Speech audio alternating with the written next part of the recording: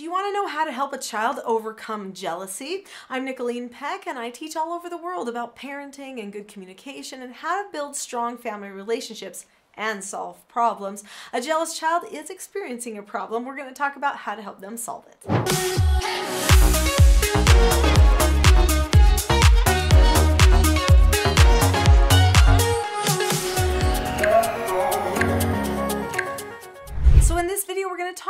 Instances when children have a tendency to get jealous and what to do to help them in those situations. So jealousy can occur at any time and honestly at any age. Adults can experience jealousy too. Envy is just one of the flaws of being a human. But I didn't know that my little two year old had jealousy issues until we brought a new baby home from the hospital.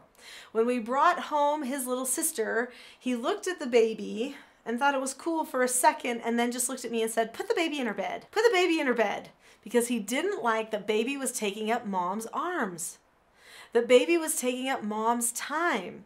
And so when it was nap time, oh, he loved it. He was playing with me and we were doing all kinds of things. And as soon as the baby would cry, he would get tense, he would get nervous. He didn't want to have to share me with baby. Well, this was a really hard no answer for my oldest son, Quinn, but ultimately he ended up learning how to share attention with his sister Paige. In fact, they ended up becoming the best of friends and they were best friends all through their growing up. So in the end, it wasn't so bad, but at first he definitely was jealous anytime I spent time with her.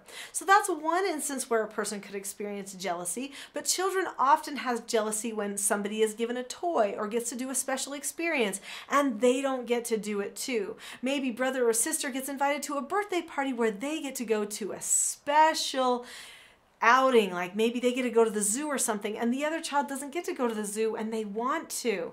This can be very difficult for children. Sometimes older children will see the way a parent teaches a younger child or what they do to help raise a younger child, and they'll say, That's not fair. I would have never been able to get away with that when I was that age.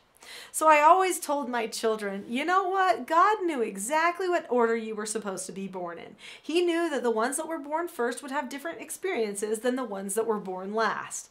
And so we just have to accept that God knew what was best, and mom and dad are trying to know what's best with each child as it comes along. Now, when I told them that, basically, I was giving them a no answer, saying, I know you have an opinion on this, but in the end, I have to make the decision, and we have to just trust that there is a reason for it all. So accept that no answer. Accepting a no answer is actually a really important part of being able to handle a problem with jealousy. So we're going to talk about ways that we can handle jealousy, but first it's important to talk about what not to do. So one thing you definitely don't want to do is make everything fair.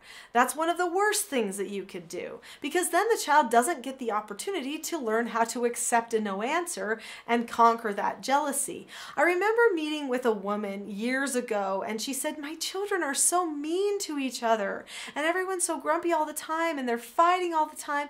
And I don't know why they're doing this because I always make sure everything's fair. If one child gets one thing, I always make sure every child gets the same thing. And I thought, whoa, that's intense. I'm thinking, how many toys must they have in their house? You know, or something. I thought, that's crazy. But I, I said to her, do you think maybe that that could be actually one of the reasons that they are being so selfish and mean to each other? Because they feel like they deserve whatever anybody else has. And if it's a teeny tiny little thing, they can't handle it if they don't get it. It could be that you produced entitlement in your children and even made it so that they would become more jealous of the little tiny things that somebody couldn't duplicate exactly for them. And she looked at me with this look on her face like, oh, I did not think of that at all. And she said, Do you think that I can maybe fix that at this point? And I said, Well, I think you better try. You know, yeah, probably, but you need to tell them you're really sorry for making everything fair. And now they get an opportunity to learn some skills for how to accept some of those no answers in life when life isn't fair. So, we're going to talk about what to do to help them with their jealousy and how to learn to accept a no answer in all circumstances. But before we do, click that subscribe button now. This channel's for you, and all the videos that come out here are for you too. And if you don't click that subscribe button, you won't know when they come out. There's two key things that you want to teach your children. One of them I've been talking about already, and that's accepting a no answer. So when you accept a no answer, you can do four things. You look at the person, keep a calm face, voice, and body, say okay or ask to disagree appropriately, and then drop the subject. So this means that you decide you're calm, you're okay, you can say okay, or you can discuss it with someone, and then you cannot think about it anymore. It can be gone. You don't have to worry about it. It doesn't have to take you over super liberating thing to be able to drop the subject. There's a lot of adults that don't know how to drop the subject, I will say. And sometimes I have to remind myself, oh, this is a drop the subject thing. So anyway, this is huge. When it comes to jealousy, you're never going to be able to make everything equal for everyone. In fact, that's just not a realistic view of life ever. My father used to always say, fair is a myth. If life were fair, we'd all be rich. I'm like, oh yeah, it's true, Dad. And if life were fair too, we could all be poor. He's like, right. There's no such thing as fair. There's what it is. And then you have to deal with what it is. And if you want more, work more, you know, toward it. And if not, then deal with what you've got and that's how you are. So, jealousy really is this lazy viewpoint that you should be entitled to something else, and we don't want our children to experience that, so they need to learn how to drop the subject about it or keep working and moving themselves forward. Now, another thing that you can do to make it so that your children do not develop the bad habit of having jealousy regularly is teach them how to sacrifice for each other. Sacrifice is a principle that really does build a strong strong, mature person.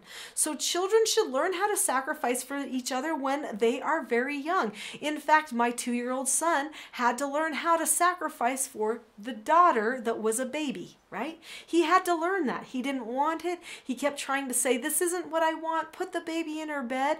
But in the end, he had to wait his turn waiting your turn, experiencing delayed gratification, serving and giving some of what you have to other people. These are all things that help a person decide that they don't want to experience jealousy. In fact, they can be happy for other people. Praising other people around you is another way that you can help your children see that everyone is trying their best and that everyone is not going to have everything the same every time because maybe they won't get praised one time when their brother got praised another time.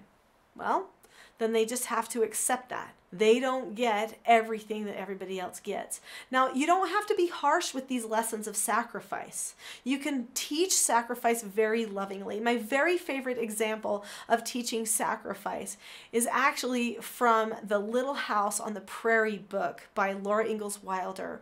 So, in that book, Laura and Mary are with their dad down in the river bottoms somewhere, and they find all these little beads that were left over from a Native American tribe that was in the area they went around the camp and collected all these little beads. So they had a handful of beads. They came home. They were so excited to show them to their mommy. They showed their mommy the beads and she looked at the beads and said, Oh, those are so beautiful. That will make such a great necklace for your sister Carrie. Carrie wasn't even there. Carrie didn't collect any of the beads. But mom was suggesting that Mary and Laura take the beads and give them to a third person who wasn't even there to carry as a gift when they had spent the entire day collecting them. And Laura talks about how that was kind of hard, but like in the end, she was so happy that she could have done all that work to make her little baby sister Carrie so happy. That was sacrifice. She had a heart change because of it, because suddenly it wasn't about her. The whole day she was thinking of what she was going to do with the beads. And then she got the opportunity to give them, and she didn't resist. And then she felt good about it afterward because it was such a hard thing to do. Children that get the opportunity to sacrifice for other people can experience changes of heart. In our very affluent society, it is really hard to find legitimate opportunities to teach children to sacrifice. When me and my family went to Kenya and we went to some of the, the neighborhoods there that were in the slums in Kenya, and they were able to you know see that they had things just with them like granola bars and stuff that they could just give to people that would bring people such happiness. They realized they needed to be grateful for everything and that it was a good thing to be someone who was giving something up and not having instead of thinking of themselves as someone who had to have just as good as everybody else, which is what the jealous person thinks. If you've enjoyed this video, I'm pretty sure you'll love my next video, which is called Showing Sympathy Without Creating Emotional Entitlement. So click on the link to that video now so that you can understand how to be sympathetic with your children, but not lead them down that entitlement road, which ultimately leads to jealousy.